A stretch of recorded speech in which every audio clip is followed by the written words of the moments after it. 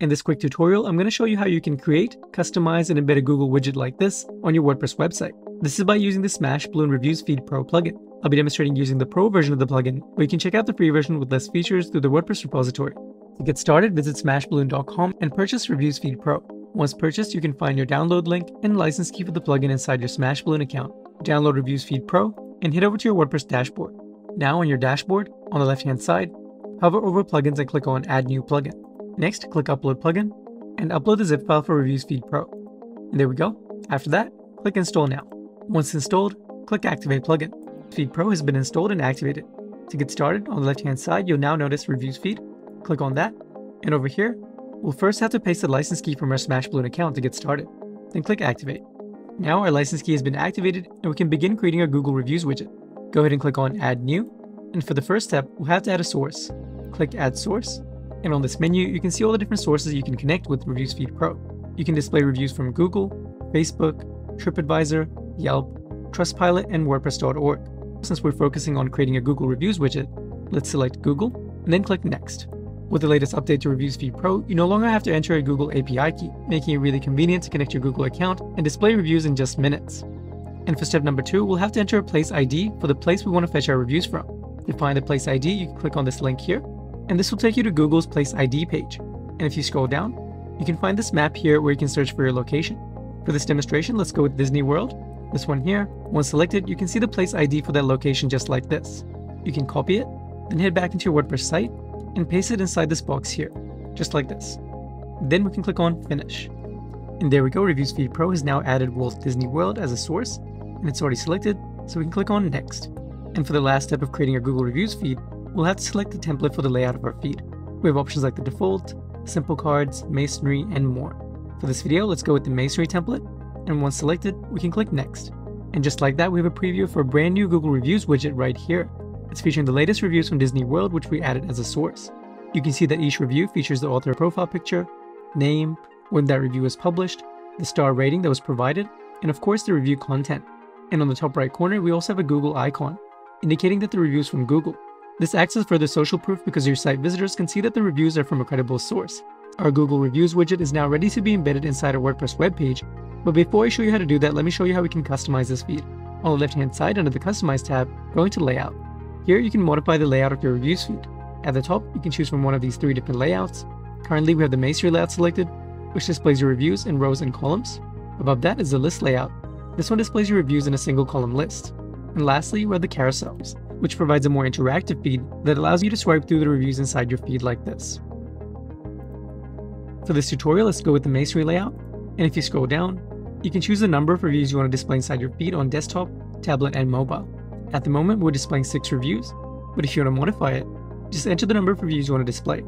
For example, let's go with 9. And instantly, our reviews feed will update to display 9 reviews instead of 6, which you can see here.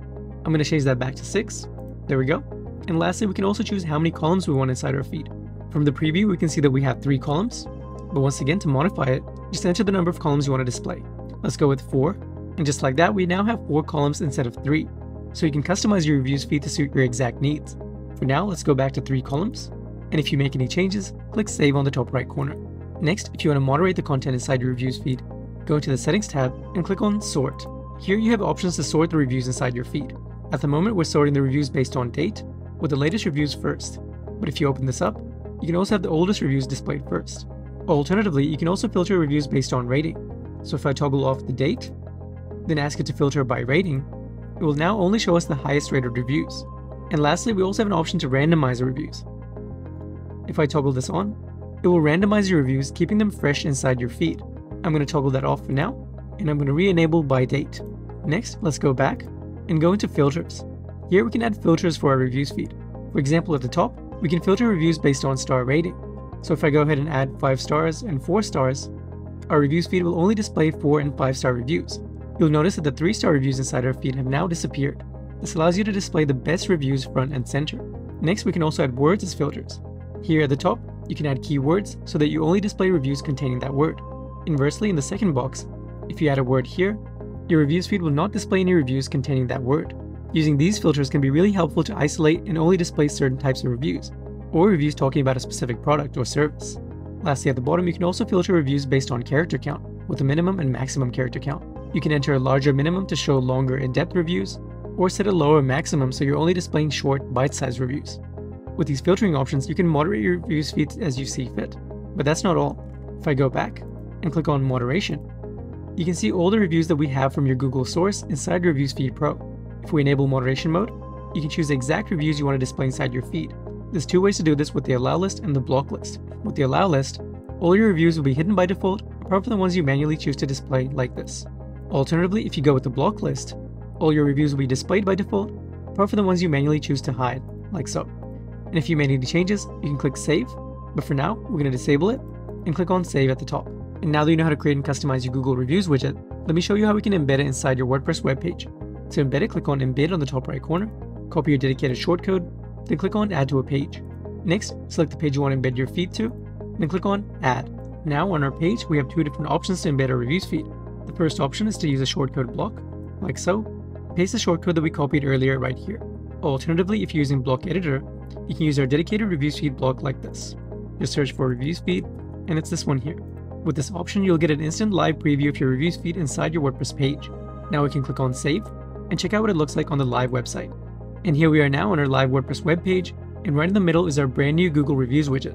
It's featuring the latest reviews from Disney World, which we added as a source, and you can see the review content, the star rating, the author details, and a Google icon on the top right corner.